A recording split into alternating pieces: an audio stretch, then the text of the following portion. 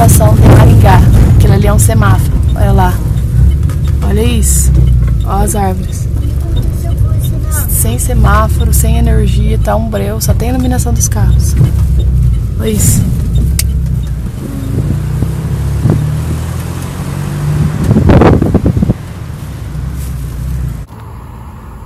Bom, gente, tô aqui na rua. Você vai andando por Maringá, tem árvores caídas em tudo que é lugar. Tem mais de 65 mil pessoas sem energia elétrica, algumas sem água. E muitos desastres aconteceram na noite anterior. E assim, é, eu não vi nada. Eu tava dormindo. Eu, eu simplesmente acordei de manhã e falei, nossa, choveu? Já falou, choveu? Isso aqui, o carro tava balançando e você não ouviu nada. Eu falei, gente, eu não ouvi nada. Eu tenho a, o sono muito pesado, então eu não vi nada. Mas os ventos chegaram a 80 km por hora. Destruiu muita coisa. Metade da cidade está sem energia. Nós ficamos sem energia.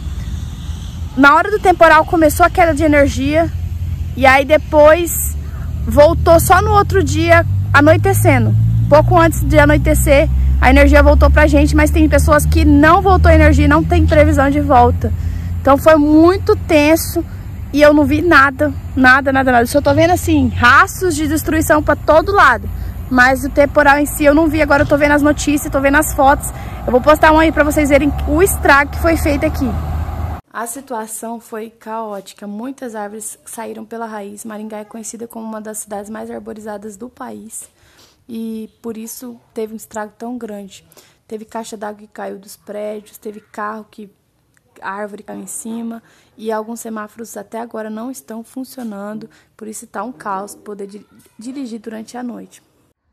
Quem olha esse céu lindo, esse Maringá limpinho, cheio de nuvens, essa paisagem bonita, nem imagina que caiu o maior temporal, gente. O negócio foi feio mesmo. Oi, gente. Cá estou eu com mais um vídeo para este canal. Eu não tô gritando, porque meu filho tá dormindo. Já clique em gostei no começo do vídeo, se inscreve aqui embaixo, comenta e me segue nesse Instagram que tá aparecendo na tela que eu compartilho tudo em primeira mão por lá. Vamos entrar? Vamos entrar que meu pai chegou aqui. Ele veio visitar a gente, vai, vai tomar café, vai almoçar com a gente. E eu tô muito feliz. Ó só a mesa do café que a gente vai tomar aqui. Já foi lá na padaria, comprou pão francês, comprou pão de queijo, porque eu amo pão de queijo. Aí ele colocou pra adotar, adoçar o café à parte, porque o meu café é sem açúcar normal. Eu tomo com xilitol. Olha lá, meu xilitol ali. Gente, esse xilitol é o zóio da cara. 100 gramas custa 7 reais. É, porque é um açúcar pra não engordar. Tipo, que ajuda no processo, né? Vamos tomar o café? Eu vou ter passado na panificadora comprar o chocolate da, da. É que na café cremoso custa 5 reais. Fala pro Vitor, pelo Olívia, pela Mari, pelo Ito. Amém. Amém. Amém. Esse daí que ela tá apontando é pra você fechar os olhos. Tá vendo, é?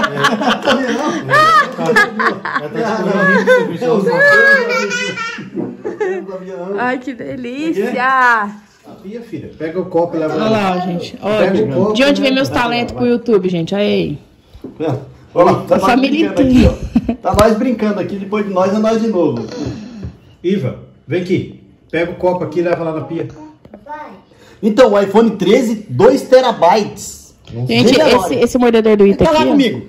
É um Só controle que é pesado, 10 mil Nós reais. pagou 30 reais lá na rua e ele adora. Tó, Ita. Paguei 4 mil no meu, já Seguro, de- não, mas tem seguro. não. Eu paguei, não, o meu também tinha. Olha lá, pai, como é que Seu faz pra encontrar? Como é que vocês fazem pra encontrar meu pai, gente? Vocês primeiro baixam o Tinder.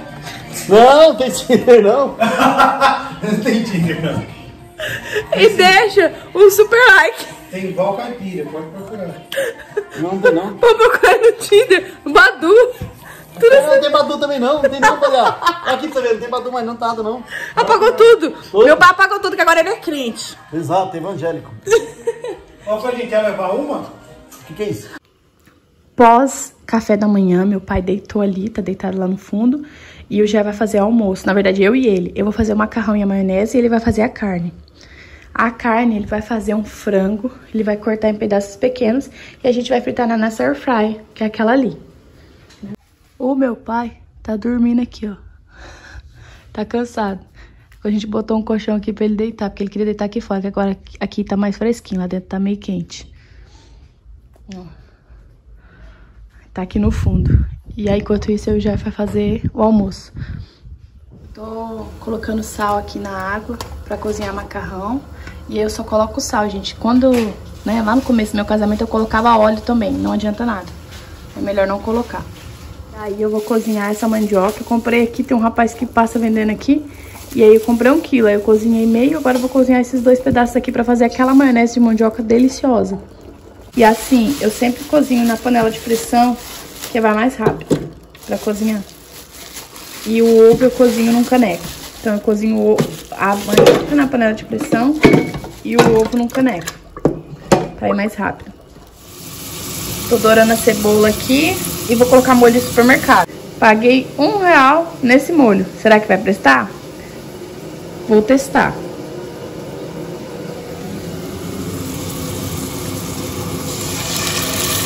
Ó, já achei bem líquido.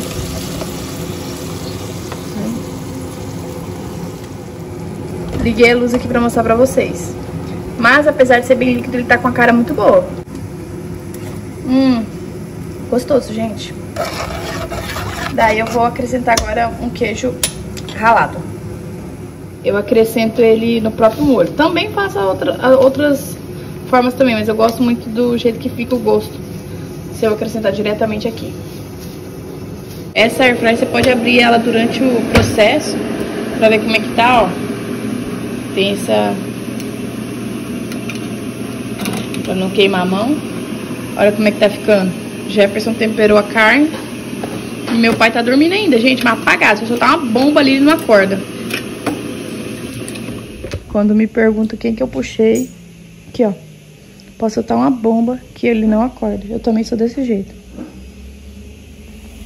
Vou acrescentar aqui no nosso molho, gente, meia caixinha de creme de leite.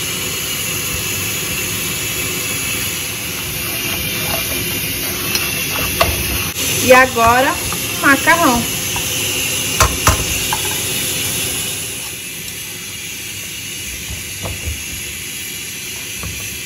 Gente, é, agora a mandioca cozinhou, é bem molinha.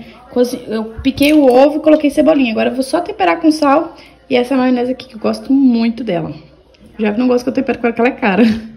E tá quase pronto o nosso almoço. Compartilhando a mesa com vocês, gente. Esse aqui é o nosso almoço domingo. Pai, vem almoçar. Vamos almoçar?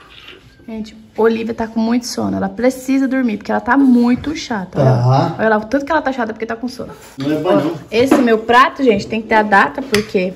Pra postar no grupo, né? E olha quem tá comendo aqui com a gente. Rita. O Rita, E e o o vovô, e a Maria e a Olivia. Vamos comer, Rita? Rita. Rita.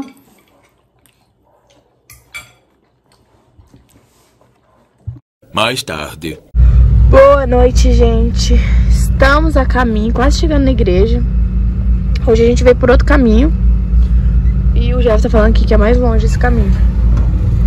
E o motoqueiro acabou de, de furar o sinal aqui.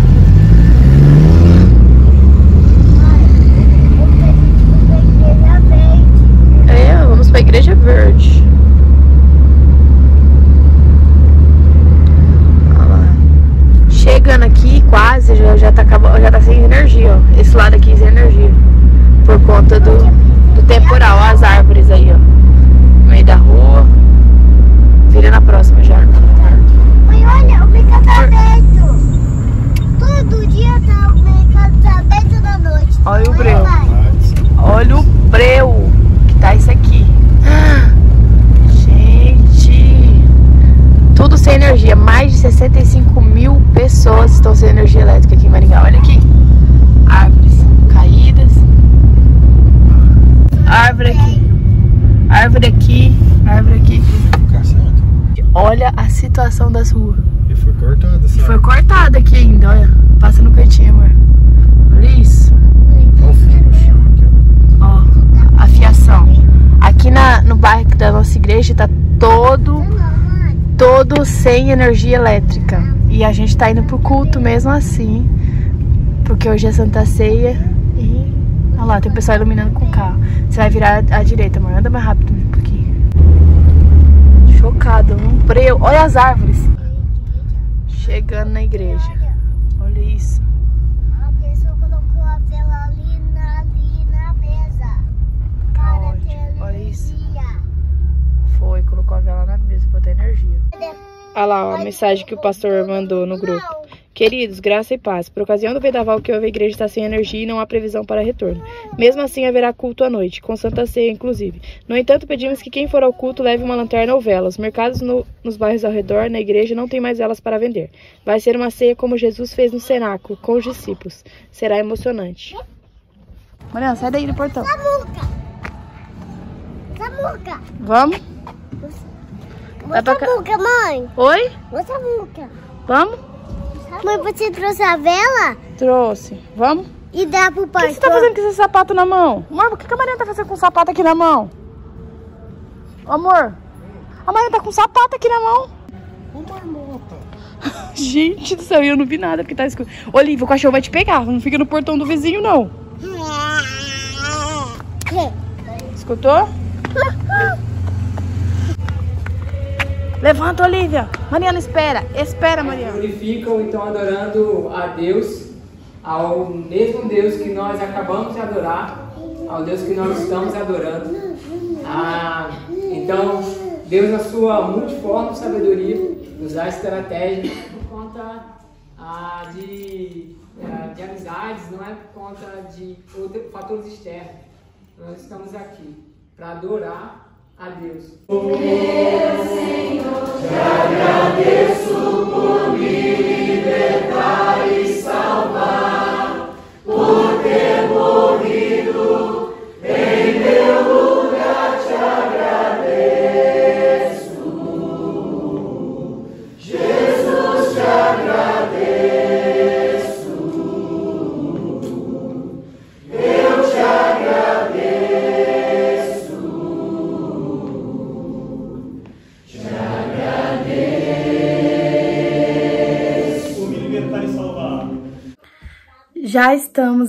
volta aqui em casa e eu tô, sei lá, tô com. Não sei se é pressentimento, não sei se coração apertado em relação ao meu sogro. Já tem duas noites que eu venho pensando nele e teve uma dessas noites que eu acabei sonhando com ele, gente. Então, vou estar orando por ele, peço que vocês orem também. Eu não consegui voltar em Curitiba ainda, embora queira muito, porque eu gosto muito de Curitiba. Quero ver o que, que a gente faz pra conseguir ir lá ver ele. Poderia ter feito isso no feriado, mas a gente tá economizando, porque a gente vai fazer a festa de aniversário do Ita. Agora, né, ele vai completar um ano, finalzinho desse mês. Aí a gente vai fazer uma festinha pra ele, porque a gente fez pras meninas, fez pra Mari, uma festinha da melancia, vocês lembram? A gente fez pra Olivia um festão à noite, com iluminação. E aí pro Ita a gente ia fazer aqui em casa, mas aí mudamos de ideia, porque... Lá na frente, quando ele vê as fotos, talvez ele se sinta menos querido, embora, né? Ele entenderia se a gente falasse, ah, filha, a gente tá economizando e tal, mas não é o caso, né? Se a gente economizar um pouquinho, apertar ali ou deixar de fazer algumas coisinhas, você consegue fazer um negócio caprichado. Então a gente vai fazer a festinha dele, vamos fazer numa chácara que eu já consegui alocar, locar. E, gente, eu fiquei até preocupada com essa questão do clima, né? Mudar muito drasticamente. Então eu já vou estar orando essa, essa semana em favor disso. Porque a minha festa de aniversário foi assim, né? Não veio quase ninguém, praticamente não veio ninguém, né? E eu não quero que, no caso, aconteça mesmo na, na festa do Ita. Então eu vou ficar de olho na temperatura, qualquer coisa, clima, né? Eu adio pra outro dia. Mas enfim, gente, precisava vir aqui terminar esse vídeo. Hoje foi um domingo muito bom, ter meu pai aqui é maravilhoso. É... Nossa, muito bom, fico muito feliz que ele tá vindo muito pra cá, graças a Deus. E eu tô torcendo pra ele mudar pra cá. Eu fico na orelha do meu pai. Ai, pai, por que você não veio trabalhar aqui? Mecânico é bem valorizado. pra ver se ele vem morar aqui. Mas até agora ele não falou nada, não. De vir morar aqui. Mas enfim, gente, obrigado por você que chegou até, até aqui. É, tudo dá graças, as coisas que aconteceram, graças a Deus, a gente não foi lesado em nada, né, financeiramente falando, mas oremos para as pessoas que foram lesadas e agradecemos a Deus que muitas vidas, né, ninguém, assim, até o momento eu não sei de ninguém que morreu por conta desse temporal, graças a Deus. Então, louvado seja Deus, né, essas coisas econômicas a gente corre atrás para conseguir de volta. Mas a vida, a vida é uma coisa que não que não volta aqui na terra, porque nós que somos do céu sabemos que a vida aqui ela é passageira, mas Deus está reservando a vida eterna para aqueles que creem e confiam nas suas promessas. Amém? E é isso, clica no gostei, se inscreve no canal, me segue lá no Instagram, dá uma olhadinha aqui na descrição, fiquem com Deus. Tchau.